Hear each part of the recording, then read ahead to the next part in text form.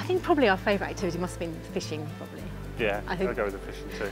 I think because we got a chance to do that, we've never done it before. Um, it was really early start, which was a bit of a shock, but we got out there and uh, you caught the first fish and it was just, it was amazing because it was so quiet and we were just looking and waiting and then suddenly the line goes and you get a catch and you know that you've got a big fish and the guy on the boat's like, get in the chair and he's the, the rod gets hooked up and you start battling, bringing this fish in. Oh, that was really, really good fun, really good, really interesting. And we both managed to catch fish. Did that answer your question?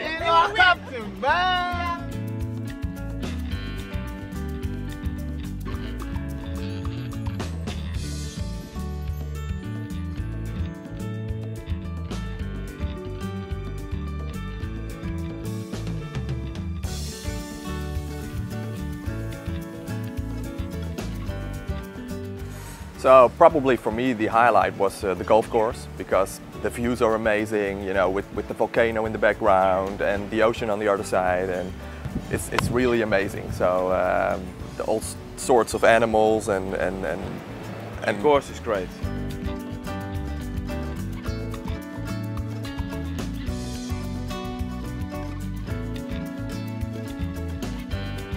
I guess my favorite uh, activity was uh, the horse riding because I did it the first time in my life and uh, it was a really amazing trip um, um, yeah, at the beach and uh, at the hills and uh, it was amazing. Yeah.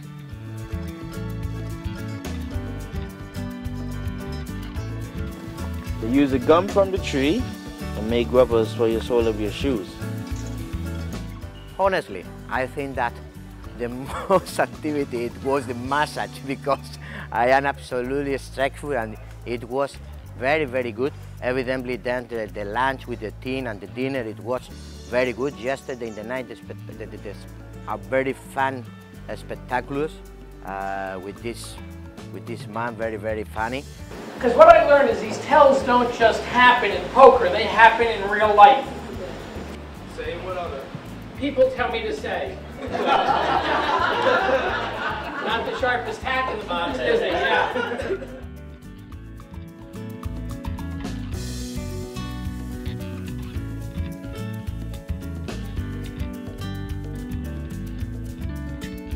the treasure hunt that we did was great because it was the first activity that we'd done. So it probably gave us a chance to go and explore the island, which we probably wouldn't have normally done if we hadn't had that opportunity. The fact that we had our own jeeps and we could go off and just tour around, kill a few goats, um, that was really good fun. And the fact that it was kind of organised, but you could do your own thing, and they had drinks vouchers, so we were happy. You had to be sober and not drink at all, but the rest of us were fine. Um, I thought it was really, really good, and it gave us a chance to see the island and, and see all the, the, different bits, different, isle, uh, different beaches, different things like that.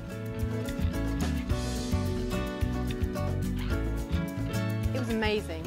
The Shine trip has been absolutely fantastic. Uh, I just, I think I'm going to bore people silly now talking about it. Uh, when I first got word that I uh, was a Shine Award winner, I was completely thrilled and excited. I think it's something we all shoot for. Uh, it's such a fantastic opportunity to uh, go to a place you'll probably never get to go to again and uh, enjoy the uh, company of some fantastic colleagues. It's a, it's a wonderful time and it's amazingly exciting.